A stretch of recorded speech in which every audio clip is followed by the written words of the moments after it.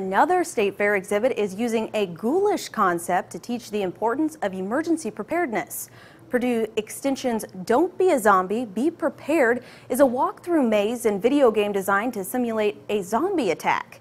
The maze ends at an underground storm shelter stocked with all the supplies needed for an emergency.